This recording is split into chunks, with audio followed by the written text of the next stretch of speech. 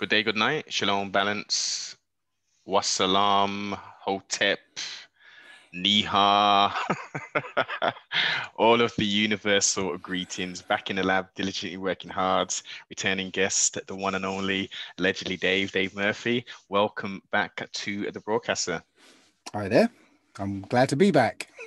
Indeed, man of infamy, man of uh, many talents, um, a, a man of much wealth so I thought I'd take the opportunity on this particular build to um, to tap into a resource of yours, um, which is very poignant and answers so many questions in regards to um, Afro-Caribbean and West Indian people, you know, in regards to mm-hmm. the genesis, like who who are you people? You know, where do you come from?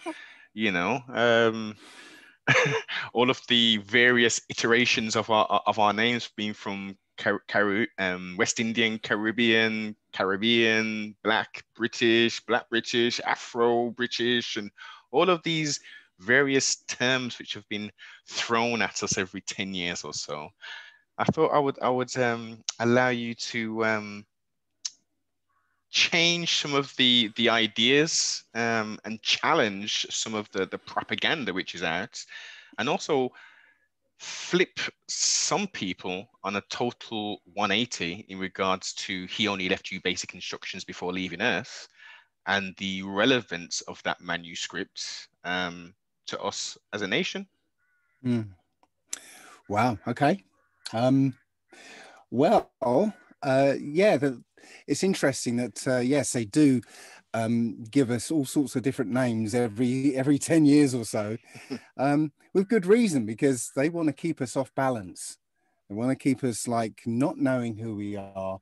You know, um, every so often, you know, we've got a different name, so it's like, yeah, are we, are we, are we blacks? Are we Negroes? Are we mm. um, Afro Caribbeans? Or what are we? You know, who who knows? You know, you know, it, it goes along with this idea that we don't have a history, we don't have a heritage, we don't have a homeland, we don't have, you know, our own language, we don't have anything really. That's that's basically the um, the programming behind it. Mm-hmm. But the the truth is, and I just I think I freaked out. Um, uh, uh, an American guy was talking about this too. Um, the most accurate names that we have for ourselves are British mm-hmm. and and Jacobite, and yes. not British because we we you know we live here. Um, British because of what the, the word actually means. Mm-hmm. You know, the word British is a Paleo Hebrew word, and it means you know it's it's two words, Briat Aish, which is Hebrew um, man, or not Hebrew, sorry, covenant man. Okay. Right. It means man of the covenant. It's the covenant between Abraham and the Most High. Yeah. Uh, I got mixed up there. I said Hebrew man. That's actually Irish. wow. the, the, the word Irish is is Iberish. Okay. Ah. So again, Aish means man, mm-hmm. just like British, you know. Um, Iba is a is a corruption of the word that uh, that means Hebrew. Okay, it's the same word as as Ibu and Igbo, Igbo and yeah. Ivri and Ewe. yeah, they're, they're, they're, all just corruptions of the same word, which means Hebrew. Does that derive um, from Eber crossing over?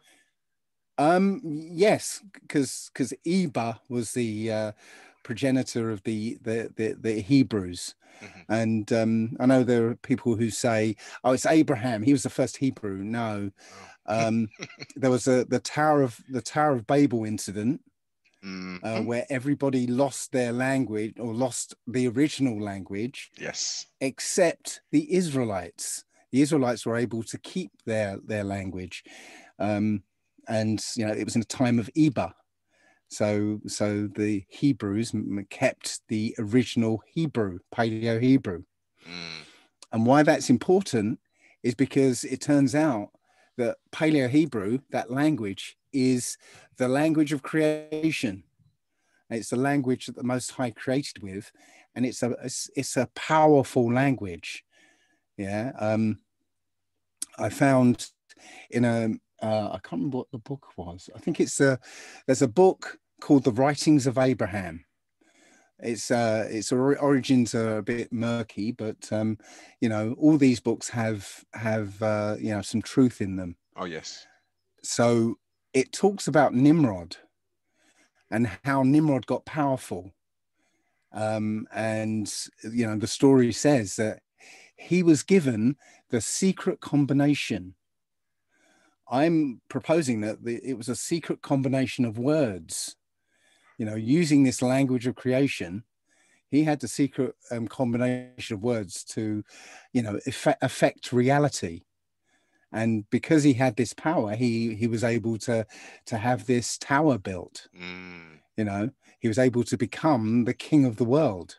Yes right so so the the language is is ex- extremely powerful um, and it's also why um, whenever the hebrews the hebrew israelites were were enslaved they um, the first thing the enslavers did was was make them learn their language. Yes. So so their language got taken away. So anyway um going right away from the, the question.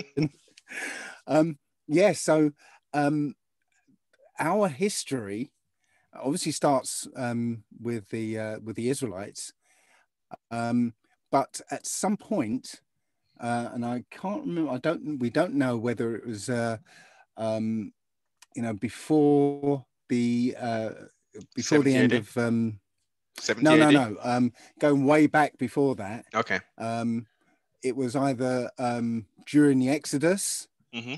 or at some point after some of the Israelites got back into the land, um, a whole group of Israelites went across um, southern Europe, and they were called the Iber. Uh, yes. So, so the same again, same word as Igbo and Ibu and and and that. It means they were Hebrews, but they called themselves the Iber, or Heba, or Hiba, or whatever. But um, they would name a place after themselves. The Iberian Peninsula. You know, Iberian Peninsula, which is Spain and Portugal. Mm-hmm. Um, and then some of those those people um, left that place and founded another place, um, which I've already mentioned, Hibernia, which is uh, which is Ireland. And um, and then some people left Ireland and founded another place, which the name um, that still survives is Hebrides. So Whoa. you can see the progression. Yeah. yeah. Um, so so literally the original Irish and the original Scottish. Um, when I say original, um, I think they're before the uh, Iber actually got there, the Iberians or the Celtiberians as they've been called. Mm-hmm. Before they got there, um, there were Canaanites there. They were called the Picts. And they was uh, depicted as the blue people, wasn't they? Yes. Um, okay so there were Canaanites there first, and and then you got the Iber, the uh, who who who were um, essentially Judites. They were of the line of Zara. Um, so there were two brothers of um, from Judah's line. Um, was the kingly line, but uh, the younger brother Zara, um, his line basically um, traveled traveled the world basically. Um, so it was a line of Zara that that uh, got into Ireland and then into Scotland. Um, so a side so, a side hmm? question, um, Dave. Yeah. Are you aware of the mummified baboons and, and stuff that are in in um, in Northern Ireland? Was, no, I'm not. The yeah, okay. So this this might give you some additional research. There's a there's mummified baboons and exotic creatures in, in Northern Ireland somewhere, and there's a tale. I don't know how much how verified this is. There was a princess that's buried there as well.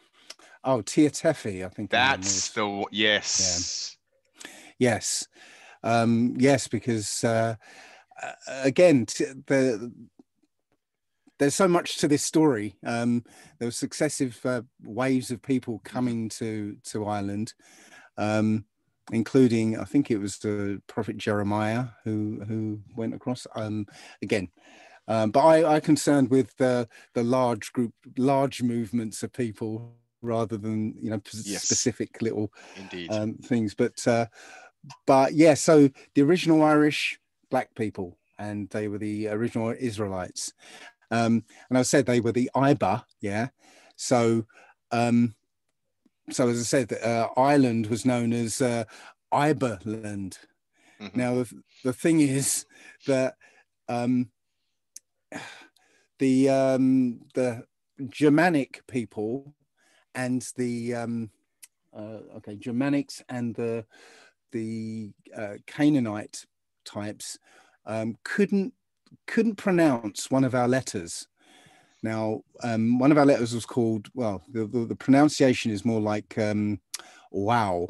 Okay. Mm-hmm. Now in English it comes out as either U W, um, sorry, uh, V W or B okay? Depending on yeah depending on how you pronounce um how you can you know you form letters like uh you know some people can't say certain things yes. right? It, it either came out this this letter wow either came out as a w either a v or a b okay? Mm-hmm. so the germanics okay the, no so the canaanites um couldn't pronounce uh hang on v's so right now, the, the Russians, right, they they say would say vodka or vodka instead of vodka. Yes. Yeah.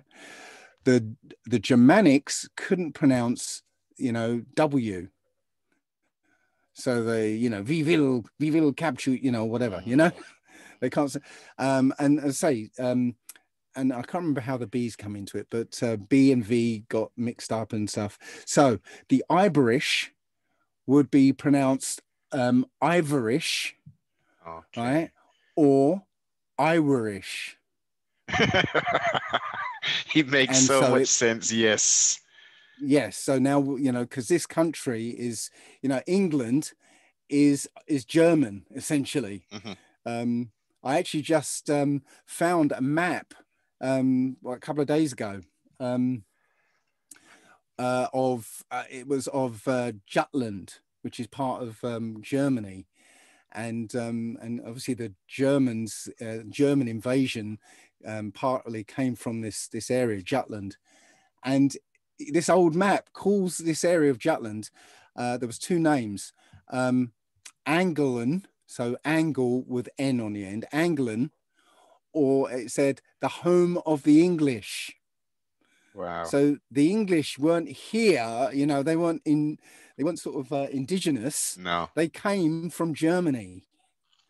Okay, so the English the English came from Germany and called this place England after they took over it. Um, so so I'm, I've kind of lost my thread where I was now. Actually, I've got so many things in my head going. This is it. This is it. When we go down these rabbit holes, there's so many different connections from places, person, persons, and things that that interweave themselves into the grand story.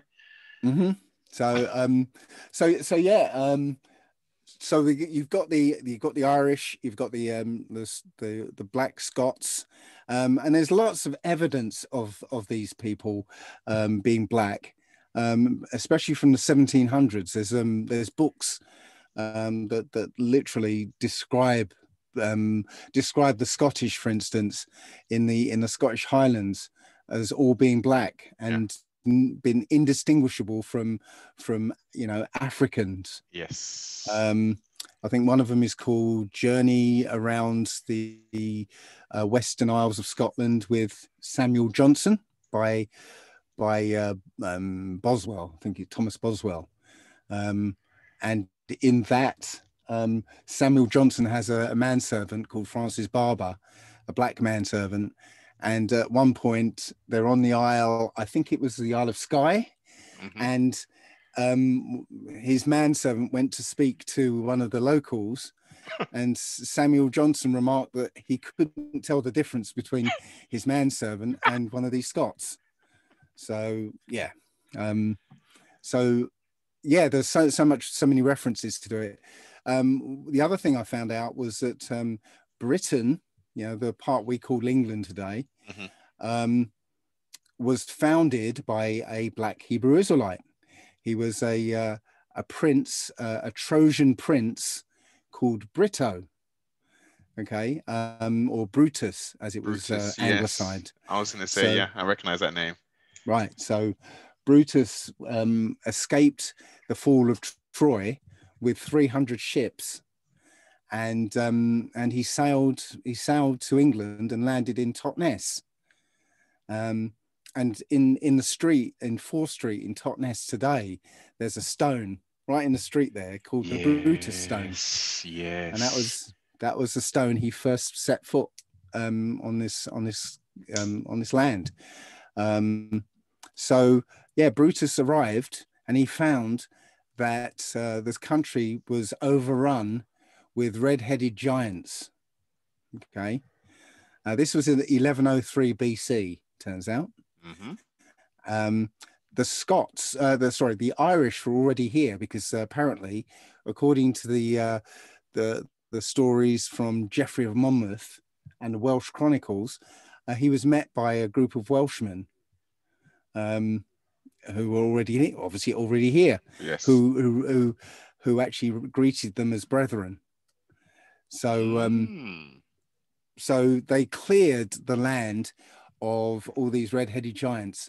Um, and except for one, they left one alive. They actually had to nurse this uh, this giant back to health because one of um, Brutus's men, a guy called Corineus, wanted to fight him, wanted a hand-to-hand combat with this giant. So um, they had this epic battle, yeah, um, hand-to-hand combat on Plymouth Hoe. Um, and uh, according to the story, um, the the giant whose name was um, Gog Magog, wow, um, grabbed Corineus and got him in a bear hug and broke his ribs. And Corineus was apparently so enraged that he managed to grab up this giant and throw him off over a cliff. Shit. And and the place was called Lam Go Mago um, after that because of it, that means I think it means um, giant's leap, right? and oh. and ever since then, up until the 1700s, there was a a chalk one of those chalk um, hillside drawings. Mm-hmm. Of two giants fighting. Yes, um, and yes, I've seen the imagery for that. Yes, Yes, um, they, they, were planning to uh, have them redone because they, it was changed in the 1700s. Uh, so yeah, just recently they were talking about um, you know resurrecting those those chalk drawings, um, and also to this day when the um, when the Lord Mayor's parade in London um, comes around, they parade two giants called Gog and Magog. which uh, really is is Gog Magog and Corineus, but you know they lost the story, you know, somewhere along the years. Um, and Corineus ended up, um, he was given the land of Cornwall. So Cornwall bears the name of, essentially bears the name of Corineus. Yeah. Um, so, so yes, so um, what we had was um, a black land. It was, it was literally a completely black land. Um, now, it got sort of uh, uh, not infiltrated, but um, the uh, the Anglo Saxons were was often brought in as as fighters. Yes, uh, you know fighters for against uh, these enemies, and so the Anglo Saxons were used as, as, as fighters and soldiers, and some of them stayed mm-hmm. stayed here mercenaries. And, yeah, and so more and more of them started to stay, and uh, you know eventually they they took power.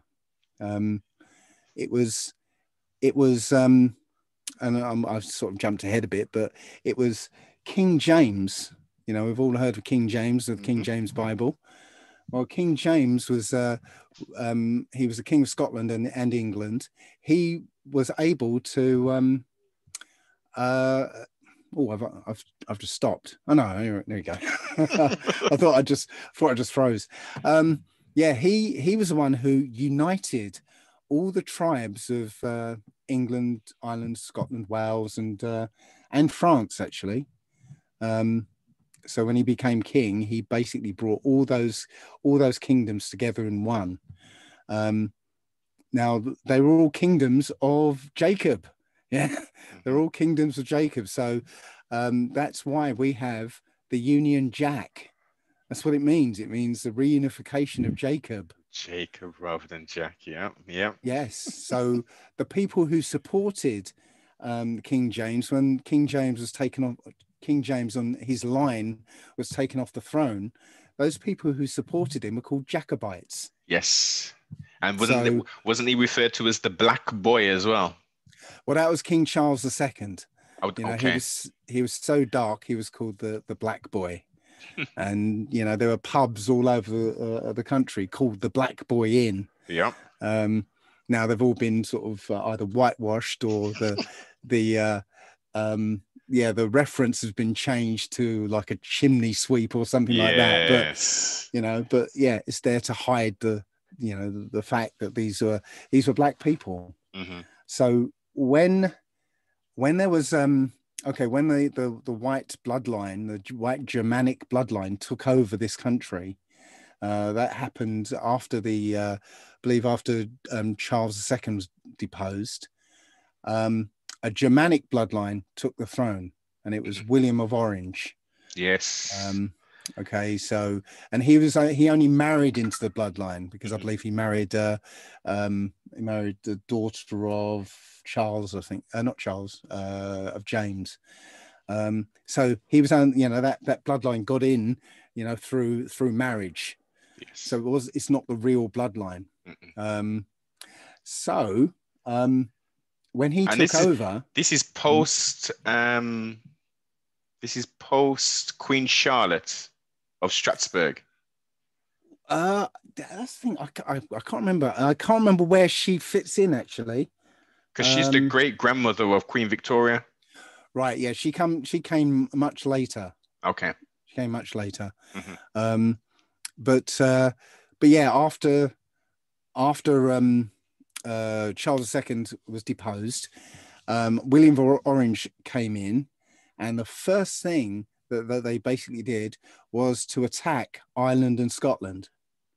Mm-hmm. Right. Um, there's a book by a guy called John Macky.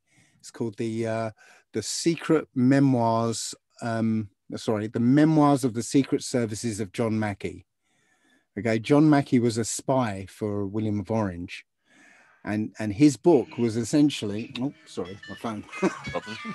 um, yeah, um, his book was essentially um, uh, an inventory of the nobility of the of the UK. Wow. So he literally went round and he described in detail what all the nobility looked like. Basically, to find out who to kill, who to yes. get rid of, that sort of thing. Yeah. So in in that book, it describes all these noblemen, and it describes most of these noblemen as black people. Mm. You know, so, you know, the Earl of Wessex is a tall black man, you know. this is going to be the shocking thing to, to a lot of the listeners. They're going to be like, what on earth are you talking about, Dave? This doesn't make any sense. You Britain's white, white people and Anglo-Saxon people, how did that... You, you just got to do some research and you uncover this information. Um, because it's been hidden. It's been deliberately hidden. You know, they they did they do not want this information out. They've never wanted it out. So so yeah, it's it's not it's not going to be readily available. Yeah, all all the artwork of um, you know depicting all the kings and uh, yes. uh, noblemen have been repainted. Yes, whitewashed. You know, a guy called uh, Thomas Cromwell, he destroyed ninety seven percent of all artwork and documents and manuscripts and all that um, with any reference to any black people. Mm. So all the paintings and stuff you see now um, her, her have been repainted. They're not the originals. They've just been repainted and whitewashed. Well, this is um, why we can we can go to Europe, um, Bavaria, Germany, etc., and we can see um, what is it? What's the name of it? It's there's a specific name to the Moorish artwork, you know, with the heads and all that. Mm, okay, yeah, you mean the, the heraldry? The heraldry, um, that exactly, mm, exactly. Some yes. strange, slow people think that it was to mock black people, but it was to not at all. This was to show their reverence for the royalty and for the nobility.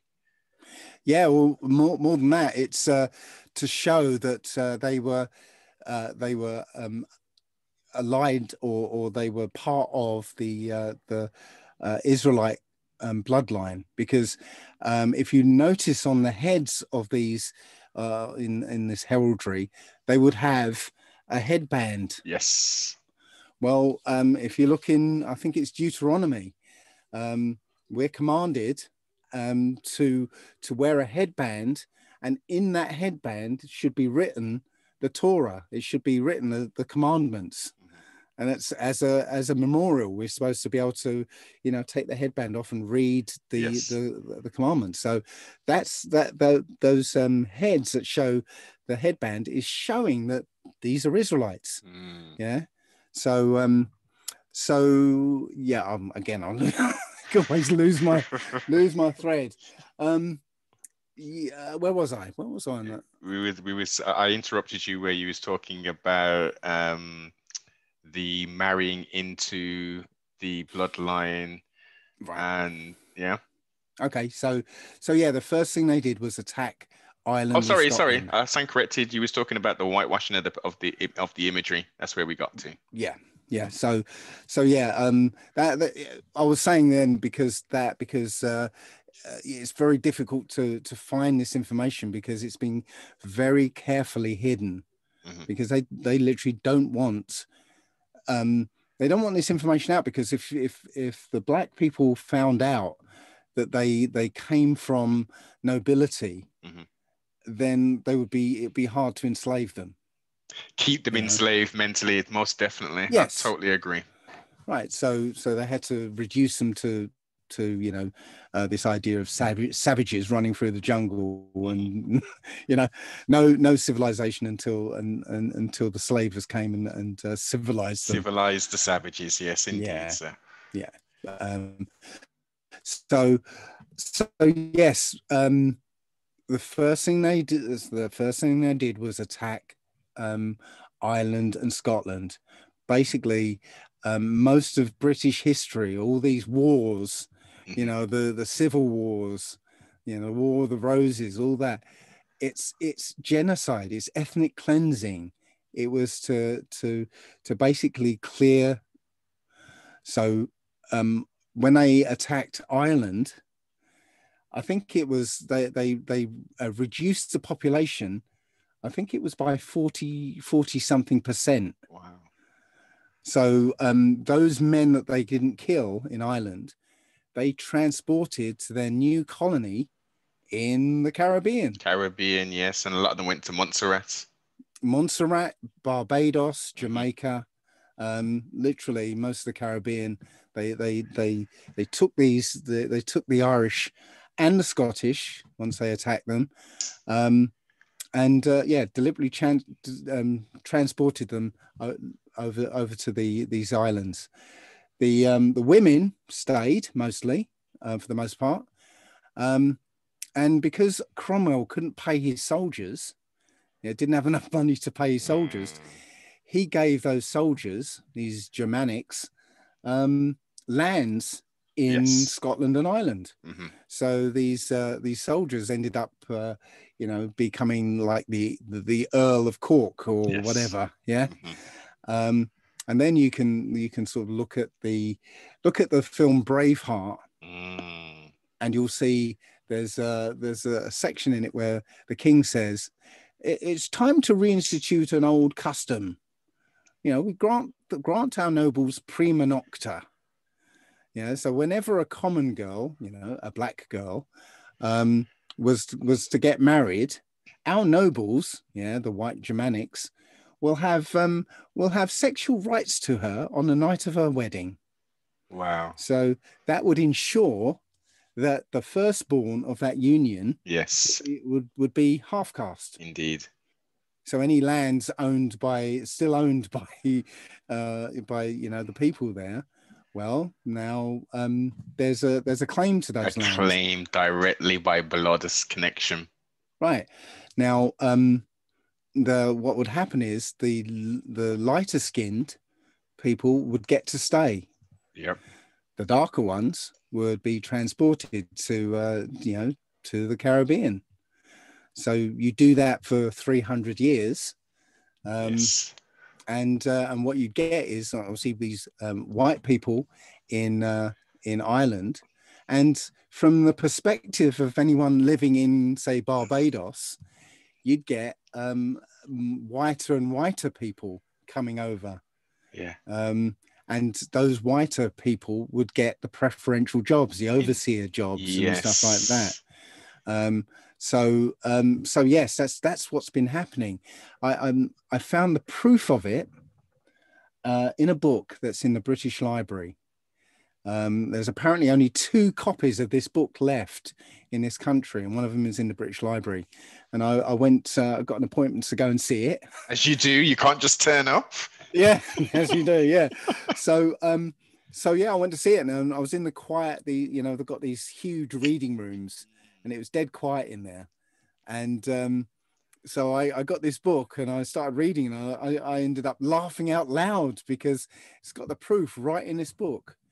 Um, it, it basically said that uh, the author who was um, he'd spent some time in Africa, mm. and then he went to Jamaica, and he was looking at these Jamaican, these black Jamaicans, and, and wondering, well, you know, these these Jamaicans are very different to the Africans that I just left, and they've all got Irish names.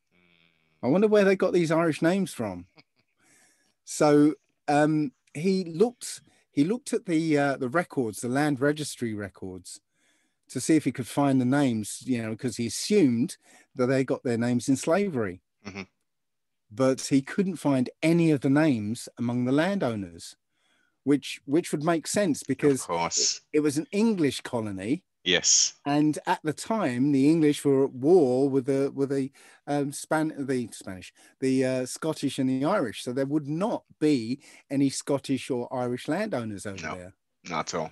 Right. So he went back to England, and he checked Oliver Cromwell's records of the deportees, he found all the names. So literally, literally all the all the people, um, the the black Irish people were transported directly over there with their names intact. Mm-hmm. Um, I also found um, a a book uh, or reference about a, a slave ship called the Veteran Okay, you can look it up. A slave ship veteran, um, and on that slave ship, there's a, a prisoner manifest, and it still exists. And half the the prisoners um, on that manifest are described as black people, and they're like Scottish and Irish black people. And this this this vessel was traveling from what Ireland or Scotland? I think it was. Uh, I think it might have been traveling from Liverpool to. Uh, um, yeah, to to the Caribbean. Wow. Uh, I think there was a, there was also a very famous uh, writer and lawyer. Um, I think his name was Hume, um, and you know described as a black man, um, literally. You know, um, uh, yeah. This this manifest just says it all. That uh, you know that these these were Scottish. Oh, they were Scottish, not Irish. Scottish prisoners um, who were Jacobites. Mm. Um, you know, so Here we go again. After, yes. So after the, I think in the Battle of Culloden, Culloden, can't remember how to pronounce it, um, where the Jacobites actually lost, the prisoners of war mm-hmm. were taken to the Caribbean and and and and literally the you know it describes them as as black people. So Dave, what, what here's a here's a question for you. Mm-hmm. The Caribbean is named after the Carib allegedly is named after the Carib Indians. Mm-hmm. We also have um, a set of Indians called the Arawak Indians. And then there's allegedly a third set, which I don't necessarily agree with this, the Taino Indians, which I think were more on Central South America versus on the islands. Right. Were they actual characters? Were they beings or they, are these mislabeled Israelites? I I um I propose that there are actually Canaanites because the the Canaanites um, were seafaring um, yes. seafaring people. They were prodig- prodigious seafaring people. Um, and so they traveled all over the place, you know, a long time ago, long before many other people moved. So I believe, yeah, it's my, it's just my, um, mm. my intuition here I believe most of the people that you'd call Indians um, were Canaanites because we were never really, um, you know, whenever our people went somewhere, they they built cities. Yeah. They built amazing cities and stuff. They built, you know, that the, they sort of um, were, were, were civilized. Mm-hmm. Yeah. So the Indians, um, are, who who are around, you know, around the world, um, who never built cities. Yeah, I, I think they were the Canaanites. Um, now in America, and this, this is what sort of um, I, I, I, guess uh, supports that in my mind.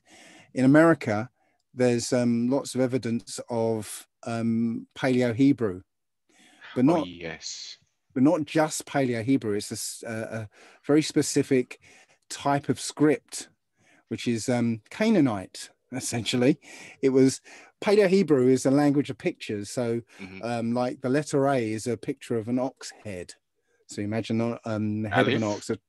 Yeah, well, that's it's just the ah sound. Okay. Yeah? Okay. Um, so it's a picture. So imagine a triangular face mm-hmm. with uh, ears out the side and horns. Yes. Okay. Um, now the Canaanites basically took that picture and standardized it. So they made a kind of V shape with a line through it. So the, the V shape is the face of the ah. is the triangular face. Yes. And the top of the V are the horns, mm-hmm. and the line across it are the ears coming out. Mm-hmm. Yeah. So um, so that's the script that's found in America. And people look at that and say, well, look, Hebrews are here. Well, the Hebrews and the Canaanites were sharing that script. So to me, I, th- I, I think it was more Canaanites that were there using that same script. Okay.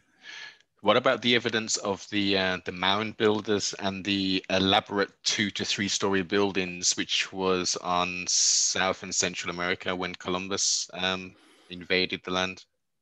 Right. Well, again, I I'm I don't have enough information. My mm-hmm. my research has been um, in the uh, within the context of finding out who who I am, yes, of course, who are our people. So I don't, I didn't really spend a lot of time um, looking at what was going on in South America or, or even America. Mm. Um, more, I was I was concerned with what's going on in in this country and the Caribbean. Yes. Um, so yeah, I think the the Indians, the original Indians, were Canaanites who'd got there a lot long, a lot earlier um, and they were replaced. You know, uh, once the uh, once we, you know, our people got there. Mm-hmm. Um, um, yeah, so so so essentially that that's that's it. This um, I found I found references in old books that show.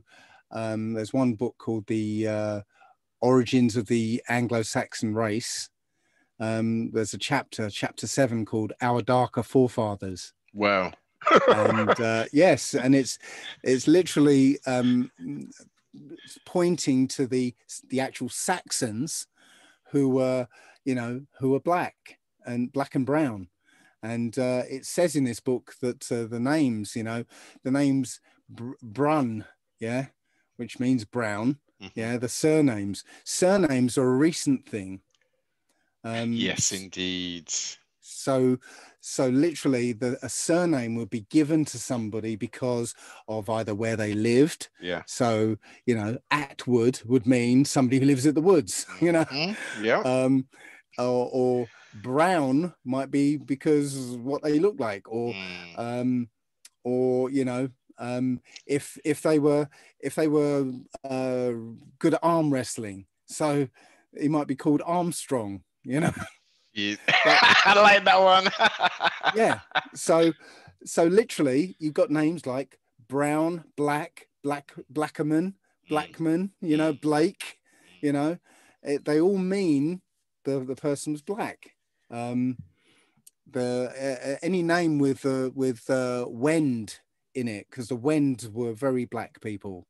So uh, there are place names like Windsor, you know, Wendlesbury, yeah, um, you know, again, Brun. Yeah, so Brunswick means brown place. You know, um, places called Moor. Yeah. Mm, Dartmoor, Um, so- South, yeah, Broadmoor, Yes, etc. the yes. Yorkshire Moors were a Mhm. p were a people, and you can find that in um, I believe a book called Sex and Race. Um, you, there's a page that shows the uh, the the crests, the heraldry for Sir Thomas More of Yorkshire, and uh, That, know, book is in volumes, isn't it? From what I can remember. yeah, I can't remember which volume I'm, Yeah. I'm talking about. I think Mhm. volume two. Mm. Um, yeah, so so yes, the the Yorkshire Moors were a people, not not a place. Now, okay, since you've you- you've gone down that route, um, and you've brought up those that titleage, the conversation of the Moors or the Black Moors, were they because we've got some people, especially in the wilderness of North America, who would say the Moors are a specific peop specific set of Black people who were mainly Islamic, but there were some of them who practiced um, Judaism, quote unquote, and there were some who practiced Buddhism, etc., etc. What is your um, thoughts on that?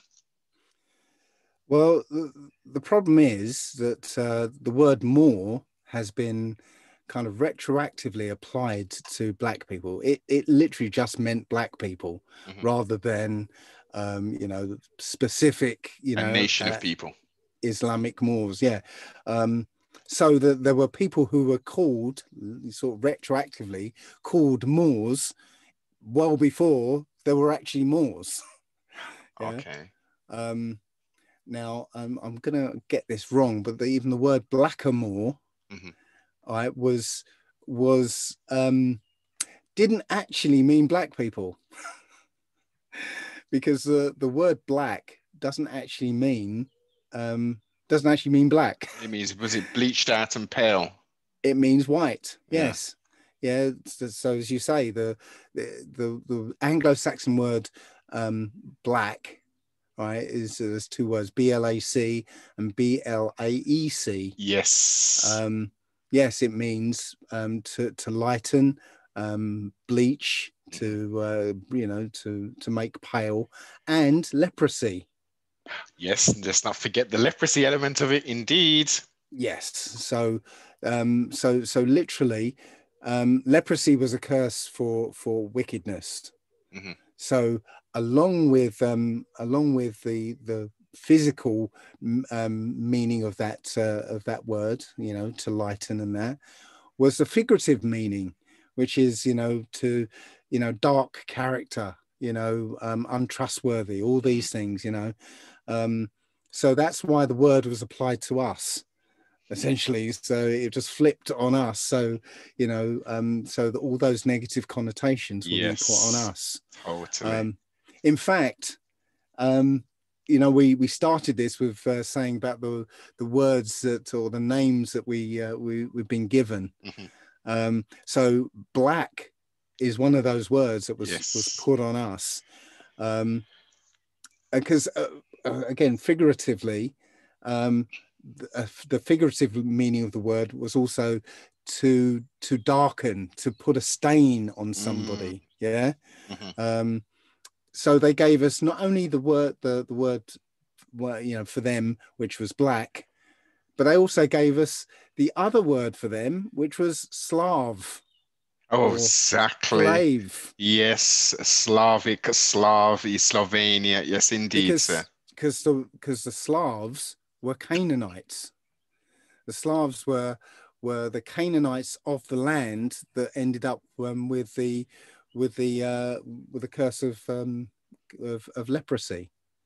Yeah, because there were Canaanites who left the Ah. land who didn't get the curse of leprosy but you will see in deuteronomy when the when the israelites were coming back into the land the most high says i will put the curse of leprosy or i will put leprosy in the house of the land of canaan so Mm. so there were two lots of of of canaanites or, or yeah there were many groups of canaanites but there's one group that stayed in the land which who were turned leprous yes. okay so um so so so yes they they literally put their names on us Blatantly. yes so so yes um the one of the uh um bits of evidence for the slavs being the canaanites Um, well, not only did I find a, a, map from the Middle Ages that showed um, the area, uh, kind of Russia and um, and part of Germany and stuff. It was mm-hmm. called Big Canaan, and um, there was Germany. Part of Germany was called Little Canaan. Wow. Yeah. Um, I found out that the uh, the original language of the Slavs was Canonic. I've heard that word before. Okay, okay. Canonic, which is essentially yeah. Canaanite. Yeah, yeah, yeah. Now, um, there's a, there's only one other place in the world apart from you know Europe where there's a concentration of Slavs, right? And it turns out this place is known as in Paleo Hebrew. This is Canaan. Do you want do you want to guess where where this place is? I, I, couldn't hazard a guess at the moment, Dave. My mind's right. all over the place. I'm I'm gonna give you I'm gonna give you a couple of clues, right? Okay. Because I want to I just because I want to tease this out. yeah, yeah, yeah, yeah, yeah. right. So clue number one is um uh okay. The word the word for this is is da. Okay. Deutschland? I don't know. I'm I'm gone. Okay, nope. Okay, now um, the next clue is that people would name the place after them. Uh, I'm no. I'm gonna pass okay. on this one, Dave. Can I, can last, I call a friend? Can I call a friend? La- no, no, no. The last clue. Here's the last clue.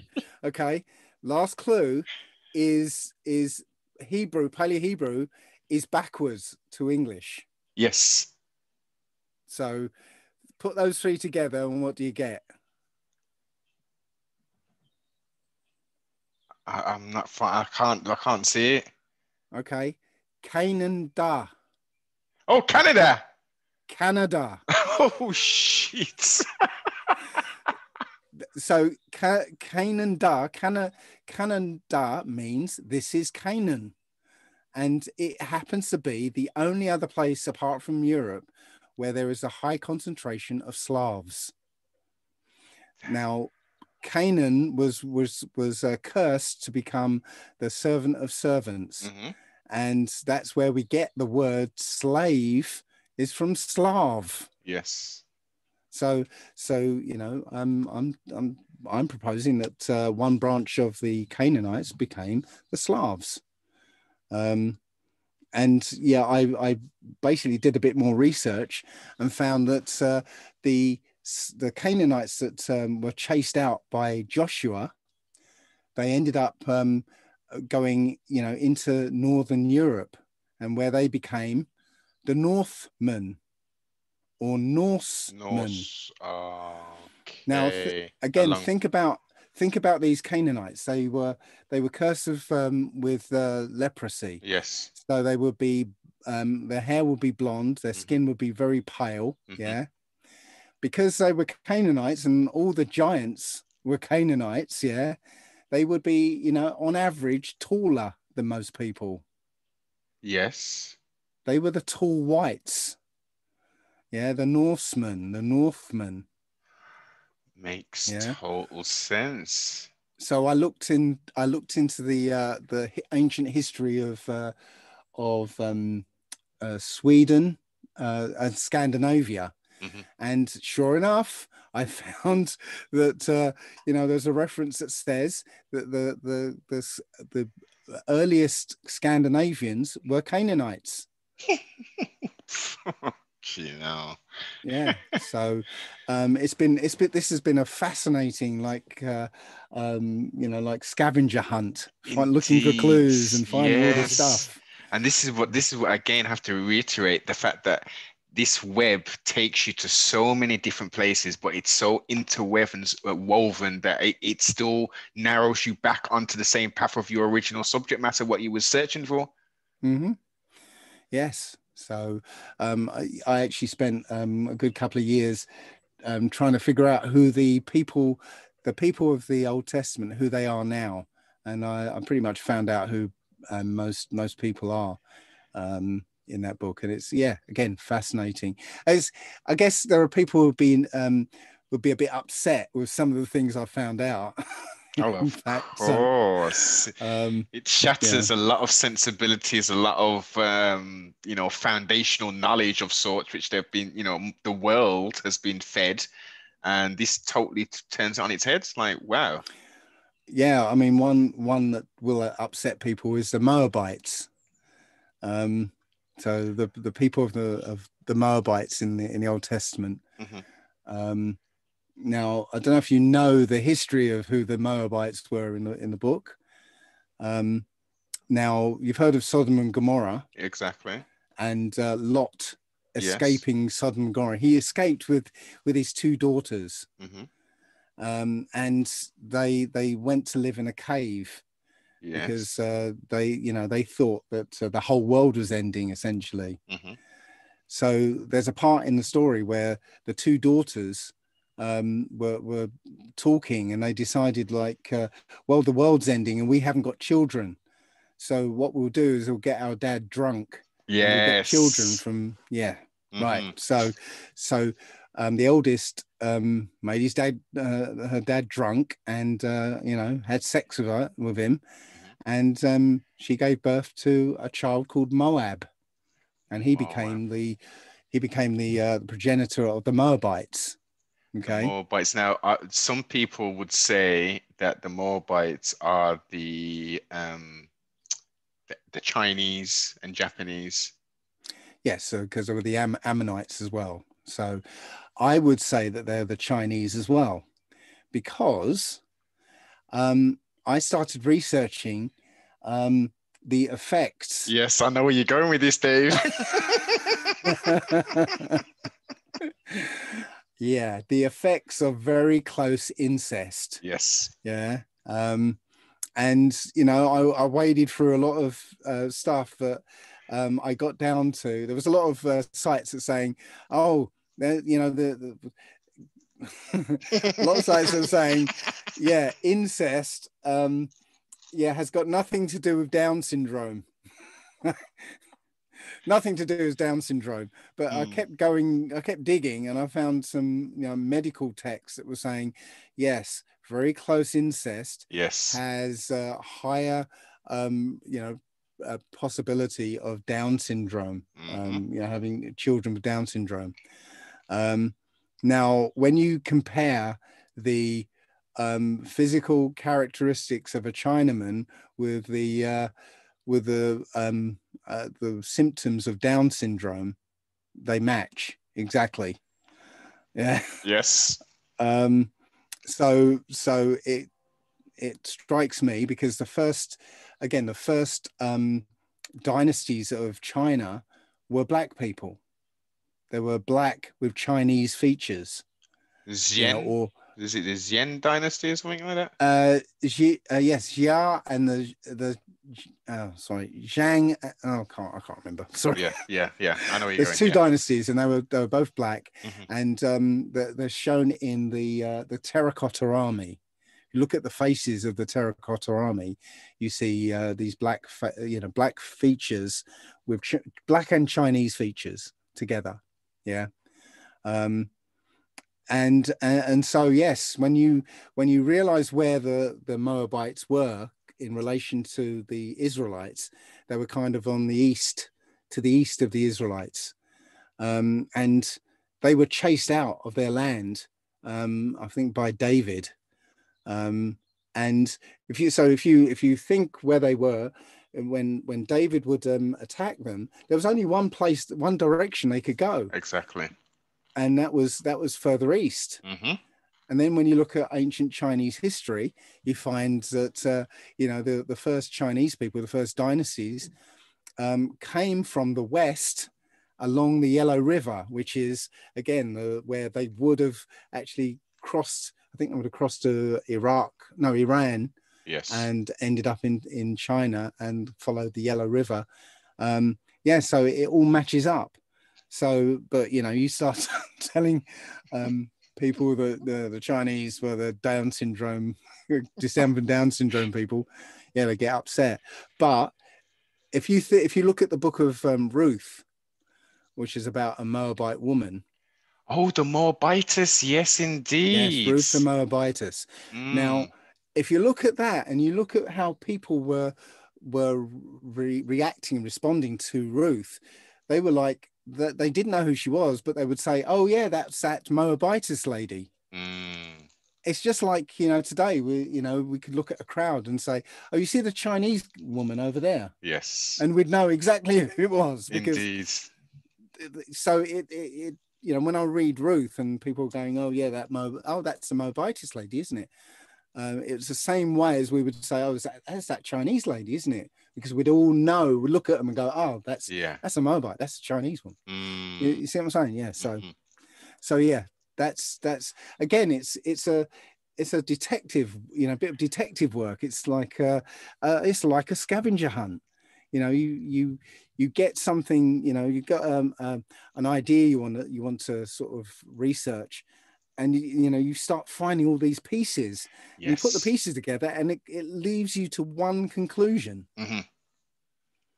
Most So, yeah. definitely. I mean that uh, uh, for before I even woke up and I, I, I- I discovered that in in the manuscript there's something called the Table of Nations. That that itself just blew me away. I was like, what? on- It, this book has got a table of, and I read the read it and I was thinking, okay, but who are the people today?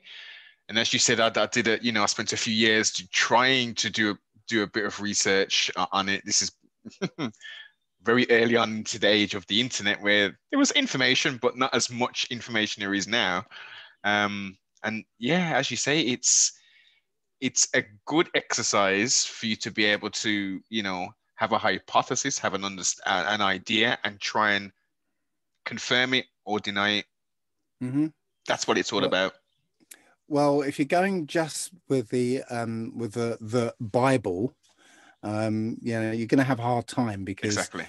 the Bible's been sort of eviscerated. Basically, Mhm. um, they've they've uh, you know hacked lumps out of it and uh, added their own book on top of it.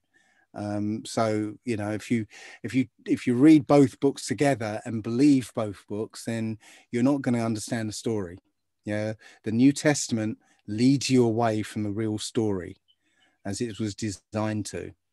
Um, but uh, if you you you know chop out the New Testament, um, add back the books that were supposed to be in there, Mhm. um, namely um, the Book of Enoch, the Book of. Jasher, and the Book of Jubilees.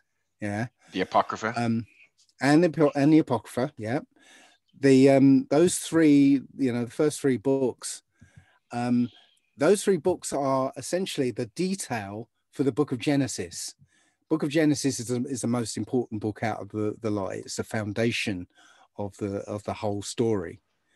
Um, now, the Book of Genesis is a is a huge, you know, represents a huge, um, you know, swath of time you know from the beginning right to the to essentially moses leading the people out of uh, out of the land so i mean that's you know thousands of years represented there yes. um so in genesis it's literally just a summary of the Mm. events um to get the detail of what happened in in genesis you have to go to those three books Definitely. um, so um, Jasher is is is an amazing book. Truly is. Um, when you uh, if you if you were to listen to it on because you can go to YouTube and uh, yes, I there's a do that video-. Yeah. right. Well, the, the the video is 13 hours long. Exactly. now, one Sabbath, I I thought right, I'm gonna I'm gonna listen to the whole lot. Yeah. So Mm, I'm, I sat there for 13 hours listening to it, and and that book is like a um, a Lord of the Rings adventure. exactly. It's an amazing book, Mm. and it tells you how powerful the you know our ancestors were, you know, amazingly powerful, and why you know we were so feared, you know, and why these nations felt they had to they had to defeat us and get you know, and and, almost dispose of us because we're so powerful. And also why they had to take the book out because they didn't want us to to know who we were and and possibly remember who you know our power The Book of Remembrance. um, yes that's why it's the book of remembrance um, so when you add those books back Um, and Jubilees is a powerful one as well because Jubilees gives you a timeline. It Mm. tells you exactly when everything happened, which is powerful in itself. Um, so yeah, when you add all these books in, you get a, a, a full, rich story that tells you not only, you know, what happened, but why things happened. You know, um, and and yeah, it re, it re, it's the book of remembrance. So you will remem- remember who you are when you when you read that book and recognize you in, yourself in that book. In the book, exactly. And if we if we look at Psalms 83 4, hmm You'll know that uh, you know the plan exactly. that was put into action, Let's, so that we let us cut them off from being a nation, that the name of Israel will no longer be more in remembrance. remembrance and and i think i think they you know in their rush to impersonate us Mm, they inadvertently um kicked off that remembrance yes. you know remember because it said the name of israel be no Mm, more in in remembrance and yes for hundreds of years they hid the name of israel Exactly. until you know the the the jewish people decided to be be israel Exactly. it's like hmm israel wait, wait, wait, wait. In 1948, wait a minute. yeah so so i think that's because you know it's just been recently that um we've started to really wake up to who we are um i know that uh, you know for hundreds of years there were there have been people um saying telling us yes you know we're israelites by the Yeah. way you know yeah. but it, it's never really it's never really caught on um but it's just been recently that you know I guess since 1948 Yes. That uh, our people have been going, hmm, Israel, that sounds familiar. Yeah. It does. That's that's waking up some some genetic memory here somewhere. Wait, let me let me do a bit more research rather than listening to that pastor in the pulpit. Let me actually pick up Mm. this book and study to show that myself approved. You know, Yes. and let, us look at the canonized. You know, or even let's go to the 1611 King J KJV and let's look at it in, in its entirety with everything in there. Mm-hmm. The, the problem is that um, there is no such thing as the good Bible because they're all translations Exactly. from a language that can't be translated, not And- and- directly. And let's not forget, Dave, that it was transliterated as well, not just translated. hmm So Yeah. context and meaning and all of that was just like, oh uh, no, let's let's put it this way. This sounds a little bit more palatable for the you know for the masses or whoever it, you know this is intended for. hmm But the, the beauty of the language is that it paints word pictures. Mm. and you can mess around with the uh, with the with the specific words all you like but the word picture remains the same Exactly.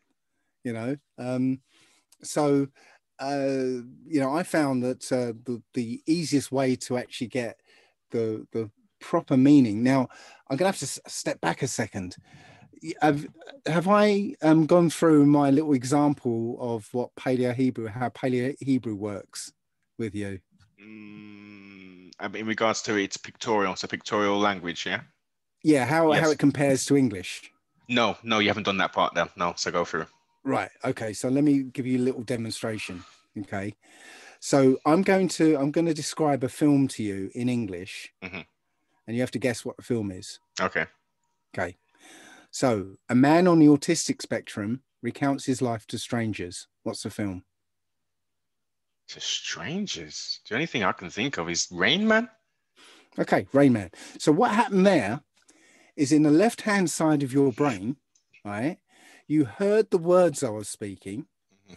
You fetched the words and the meanings of those words, Mhm. and then you compared those words to a list of films you'd seen. Yes. Okay, and you guessed at, Mm, at Rain Man. yes. Okay, right.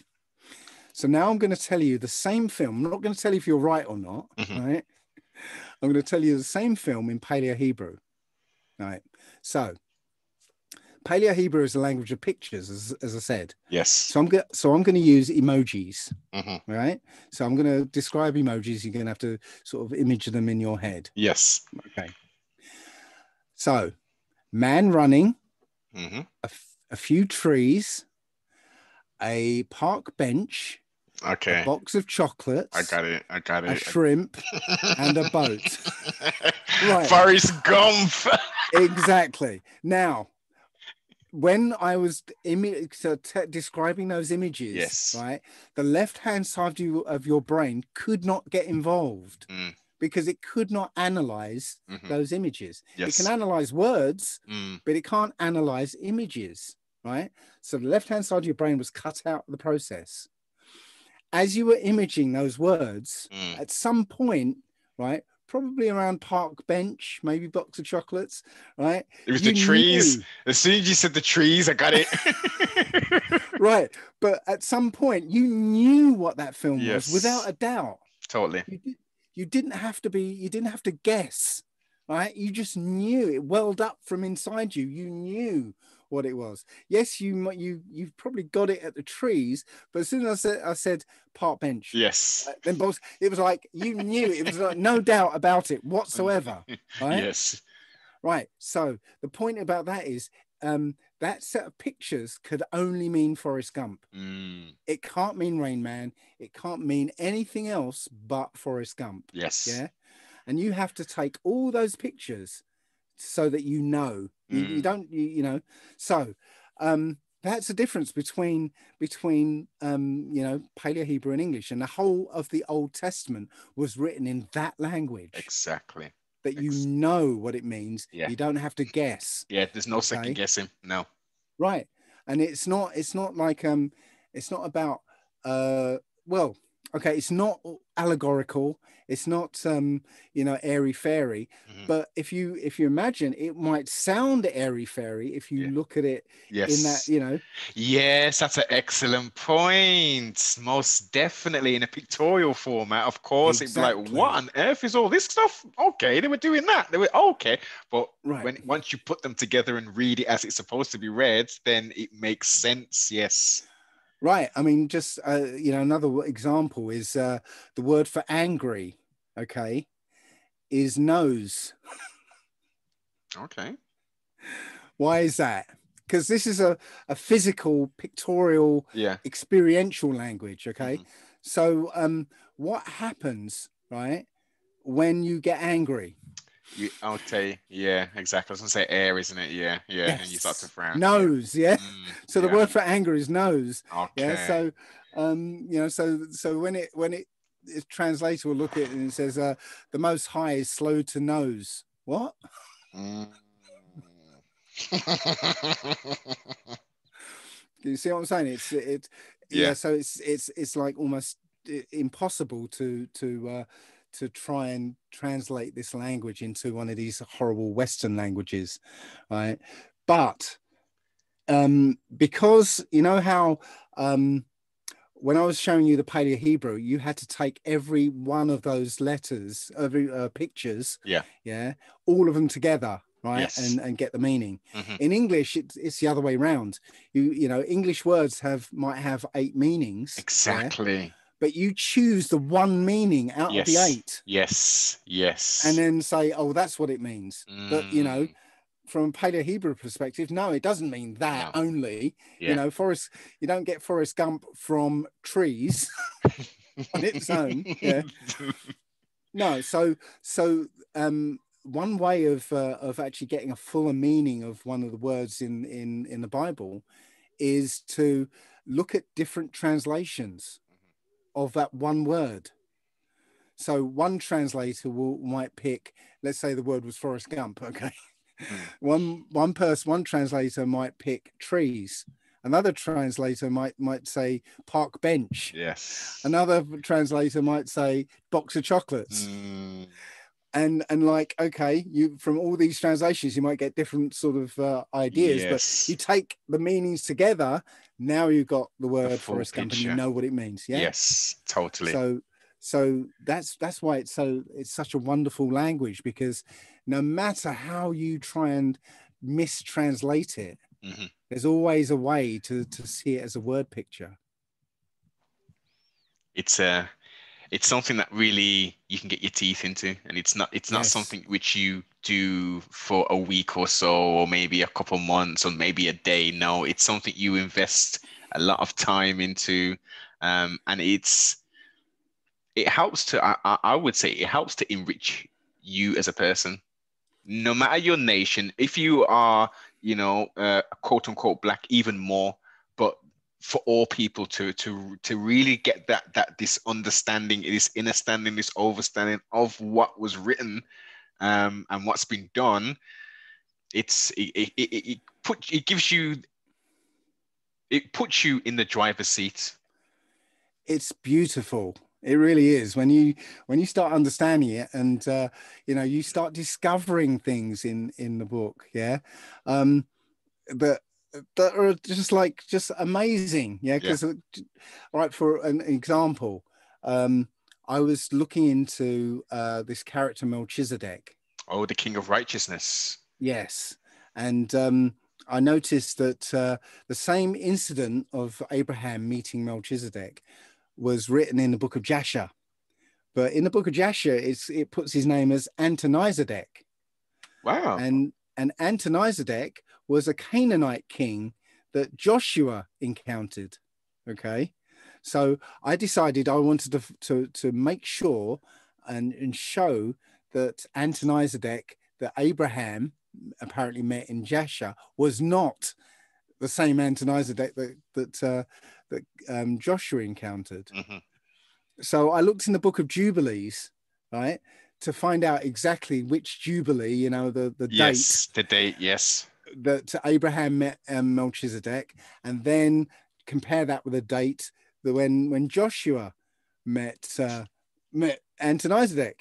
And what I realized was, just looking at the dates and stuff, that um, I found out the reason why the Most High made the Israelites wander in the desert for 40 years, specifically 40 years. Oh.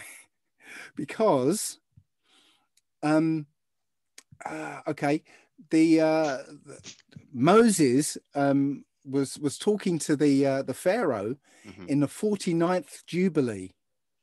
Okay. Yes. And when you add up, when you go into the Book of Jubilees and you you look where it says about um about the Israelites wandering in the desert, right, and you add it up, you find that the Israelites took took possession of Canaan exactly on the 50th Jubilee, which oh, is wow. the only time they could have taken it. Yeah. Because the Jubilee is the year where all property goes back to its original owner. Mm. And it mm. turns out that the land of Canaan was never the land of Canaan, it was the land of Shem. And Canaan took it.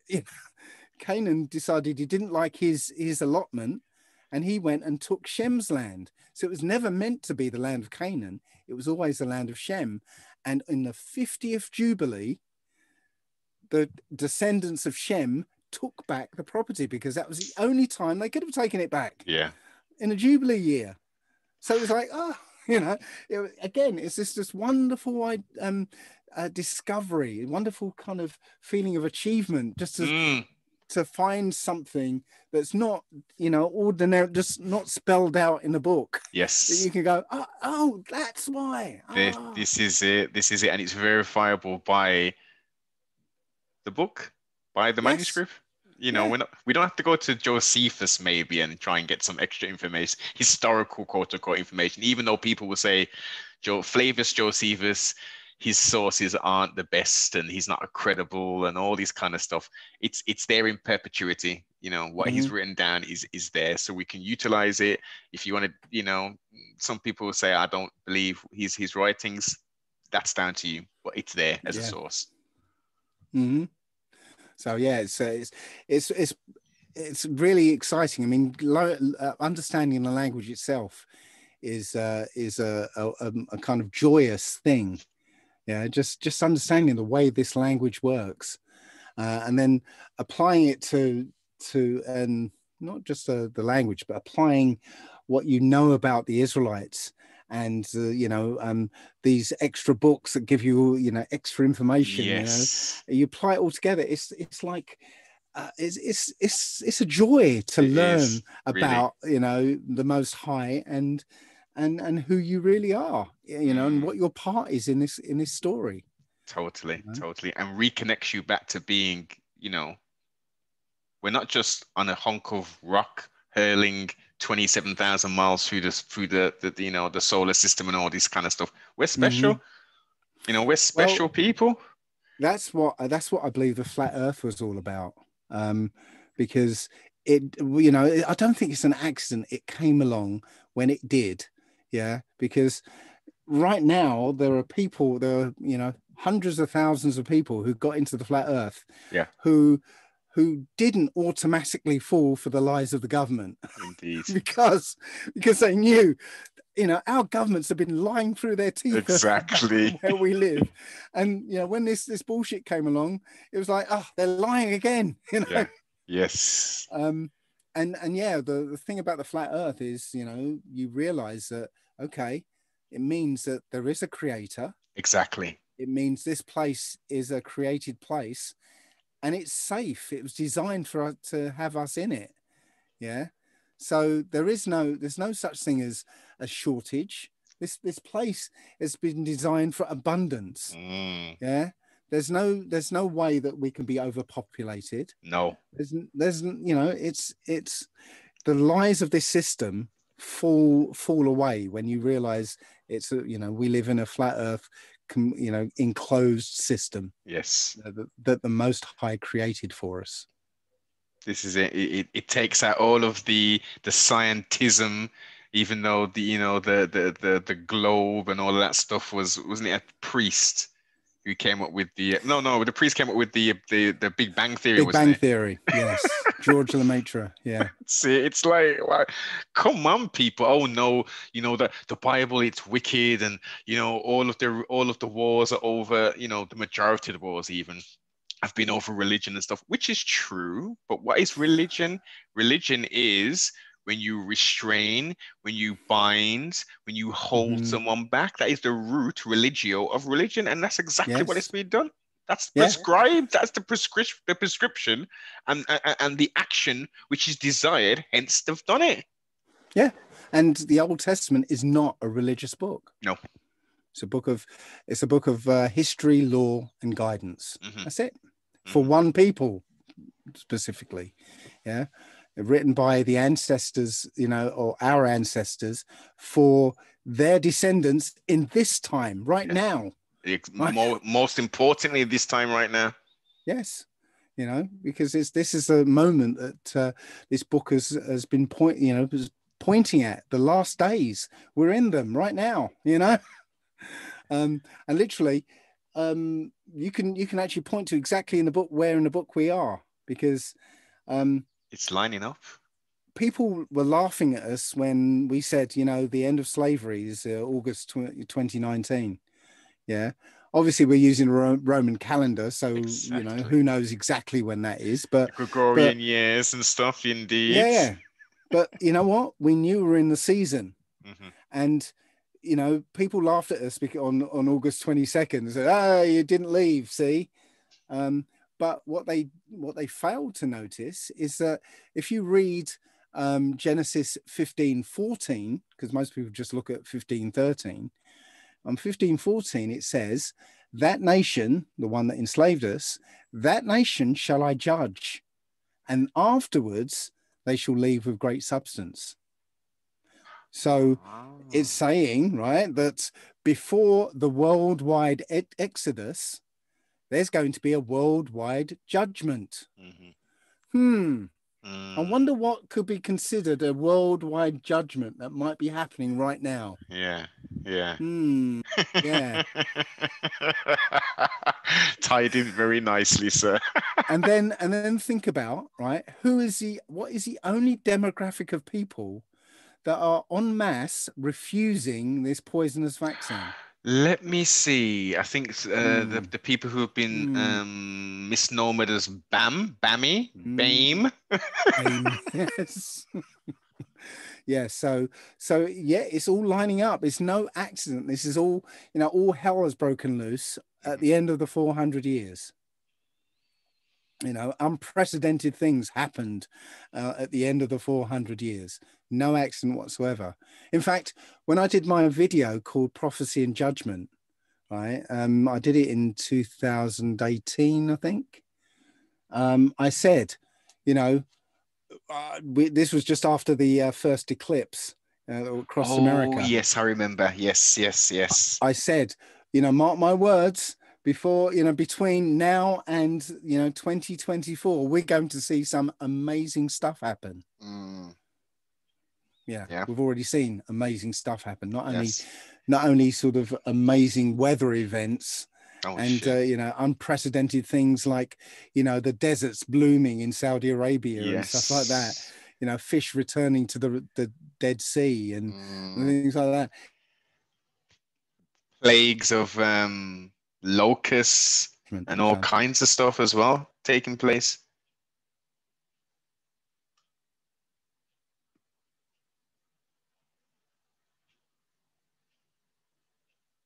Focus. Yeah. There you go. We're back. So yeah, here we are. There we go. about all this stuff because it's all it's all been written. It's already been the story's already done. Most definitely. Most definitely. Another um, enlightening, edutaining conversation, uh, Dave. I, I, I really thoroughly enjoyed it. Trustfully, the uh, the listeners have have a lot of notes taken now, and we'll be going back to do some additional research. But um, amazing, amazing, um, blown away. I think you made some some very poignant connections. Um, I think for people who are just kind of waking up and have no idea of, of the detail we've gone into, this will be a, an excellent resource tool for them. I hope so. Um, there's a, there's still a lot more to find out, but you know, exactly, exactly. If you're not learning, you are dying. And you Mm. know, reference that manuscript. There's a lot more stuff to to be uncovered and to be um un- unfolded. yeah. Well, I'm glad to be of, of some assistance to people. Most definitely. Um, Dave, where is the best place people can get hold of you? Right. Well, um, I've got I've got a website, um, allegedlydave.com. Um, my uh, my YouTube channel. Well, a lot of the Yeah. stuff that I've been putting up lately has uh, has been taken down within about 20 minutes. Exactly. I was going to get into that actually, Dave. You, I think the last four videos you've put up, I think, if not more. Yeah, yeah. Um, so literally, if you put um, allegedly Dave into YouTube or um, BitChute or um, I think LBRY's going away, but uh, Odysee um, or Library while it's still here, Yeah. you'll find my stuff. Perfect. Perfect. Make sure you go over and, and check out some of Dave's content in reference. What was the what's the name of the video you did when you we did the um I think it's about an hour and a half, maybe two hour presentation and you was talking about um Paleo Hebrew and you had some videos with the sound and all that. What what's Right, it's it's called the language of creation. That is an excellent video. I suggest everyone go over to Dave's channel, watch that one first, and then obviously go go through the plethora of other information he's got on there. But watch that one first. You will be blown away. I won't give any spoilers out, but go and check that out. It's a, it's an excellent watch. It's an excellent watch. cool, cool. Make sure you like, comment, subscribe, share, and tell a friend to tell a friend to tell a friend.